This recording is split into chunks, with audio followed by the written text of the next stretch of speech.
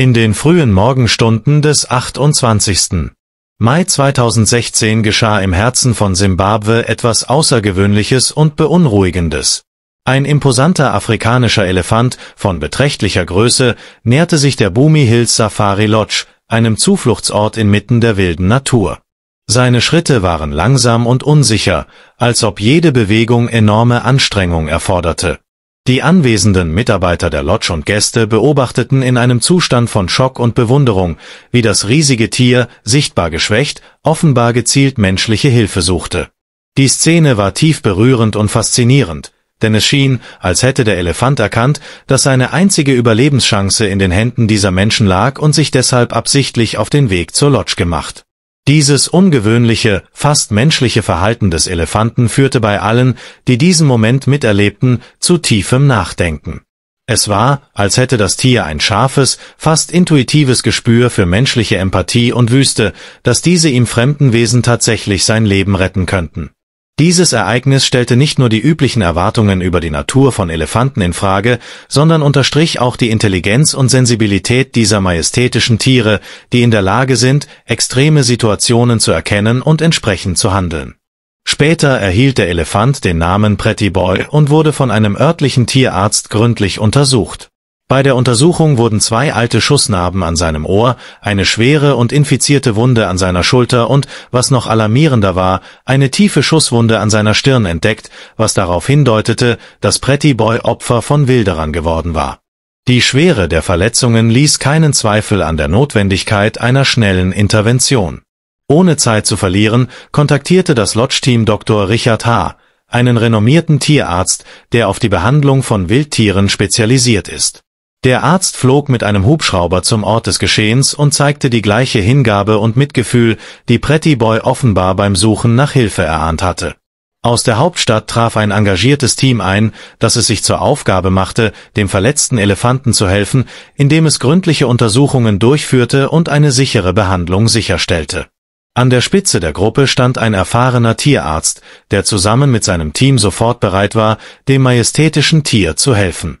Dank der schnellen und effektiven Intervention des Teams konnten die Menschen sich gefahrlos dem riesigen Elefanten nähern, der nun ruhig am Boden lag. Dr. Richard H. begann zusammen mit seinen Assistenten das Verfahren zur Reinigung einer tiefen Wunde, die sich an der Schulter des Elefanten befand. Die Wunde, die sich über zehn Zentimeter erstreckte, wurde mit äußerster Vorsicht behandelt. Um sicherzustellen, dass keine Kugelfragmente zurückblieben, wurde ein speziell für solche Situationen entwickelter Metalldetektor verwendet. Glücklicherweise wurde nach sorgfältiger Inspektion kein Kugelrest gefunden. Die größte Sorge aller galt einer Wunde an der Stirn von Pretty Boy, die sich gefährlich nahe am Gehirn befand. Es bestand die Befürchtung, dass sich die Infektion auf kritische Bereiche ausbreiten könnte und das Leben des Tieres gefährden würde. Nach einer gründlichen Analyse wurde jedoch festgestellt, dass die Wunde das Gehirn nicht erreicht hatte, was für alle eine große Erleichterung war. Auf fast wundersame Weise gelang es dem Elefanten zu überleben. Die vollständige Behandlung erforderte mehrere Stunden intensiver Arbeit.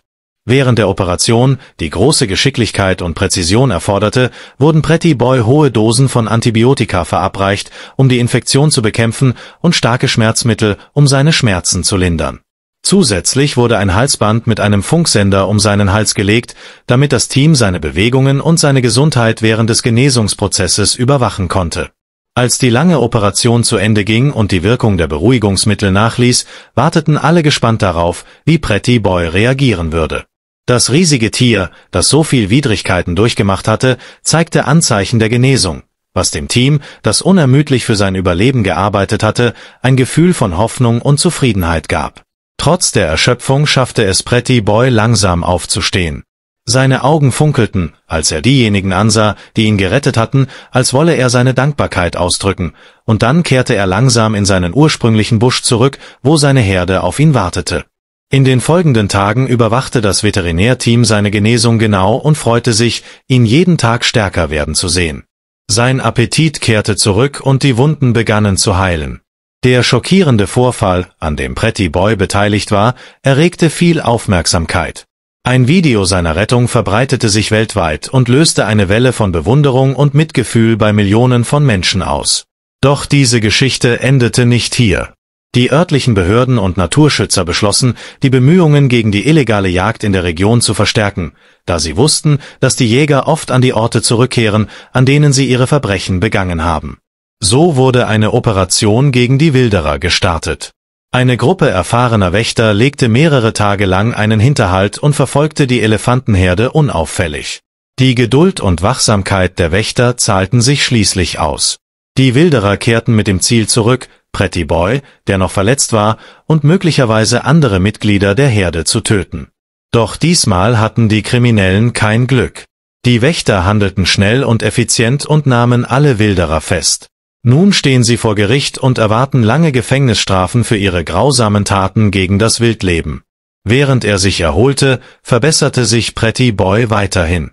Monate nach dem Vorfall feierten die Tierärzte seine vollständige Genesung, obwohl die tiefe Narbe auf seiner Stirn als dauerhaftes Zeichen seines traumatischen Erlebnisses bleibt.